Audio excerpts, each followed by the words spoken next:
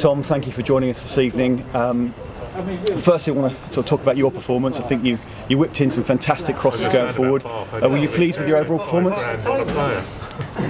Yeah, I, I think I've, I've done all right. Um, I did uh, put in some good balls, which I've said that yeah, the boys in there should have should have finished off. But I think the overall thing is the result, and I'd much rather have had a shocking performance from myself and got the win. Uh, what are your thoughts on, on some of the big decisions from this evening? Um, I think without getting in trouble, I think they're harsh. Um, not long after they gave the penalty, I think there was one where it hit uh, James Kolotsky's hip and then his arm, and if I'm honest, I think that was more of a penalty than the one they gave. Um, but I've said to the lads in there, you know, you've got to take it as a compliment when you're you're a good team, you're up near the top of the table, people want to knock you off that. Um, and sometimes you get them going for you, and sometimes you don't. Um, and unfortunately, tonight was one of those nights where we didn't get go for us. Yeah, I think that's, that's fair. And obviously, you've played um, derbies here when, when, when there's been crowds and a lot of noise and sort of. Um, did you find it strange playing a derby behind closed doors? Does it make a big difference? Yeah, it's horrible. Um, I think the only thing I can liken it to is, you know, when we played Hemel in kind of like the Herts Senior Cup, Charity Cup games. Uh, that's the only thing I can kind of liken it to. You know, not having the fans here is, is a massive miss. Um, even even their fans, uh, them not being here is, is a big miss for obviously their team, but but also us. Um, I think you know the fans are great, but even when it's a derby day, it's it's ten times better.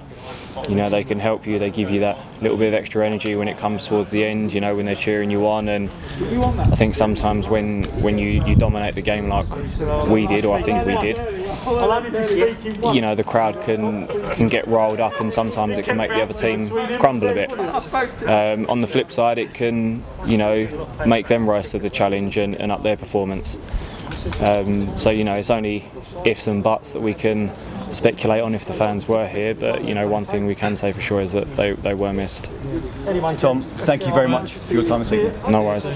So, thank you very much for your time this evening. Um, firstly, I'd like to ask you just a sort of an overall question, which is. Has it been quite difficult to maintain the focus of a stop-start season? Um, yeah, it has been a bit difficult at times, but um, got to give it to the coaching staff and the gaffer. They're, they're making life a lot easier for us they're keeping us organised. Um, when we ain't had games on, they've made sure we get in, we do little training sessions here and there.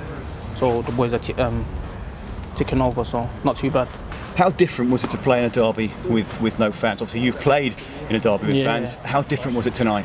It's a big, it's a big difference, but I think where we are, where we are at now in the season, where we, I think it's only been that one game against Tonbridge where we have had fans. We're a bit used to it now, but um, that's not to take away the fiery side of the game. It was still there, as you probably saw during the game. But I'll say, goodbye I say yeah, we're a bit more used to having um, not having fans now, but it would have been much better to have them here with us. And you know, uh, you, you sort of you, you, mentioned it there. It seemed a very physical game, as you'd expect from a derby. And did you relish that battle? Yeah, derby is always going to be a physical game. You go into the game knowing that the opposition are going to come at you full force and it's only right that we match them out there. I feel like I did match them, me and Kyron, Manash, all the boys today matched them out there, I think. And, and how did you feel overall the team performed tonight? Um, I feel miles above them. That decisions didn't go our way. I would say, don't want to talk too much on that, but decisions.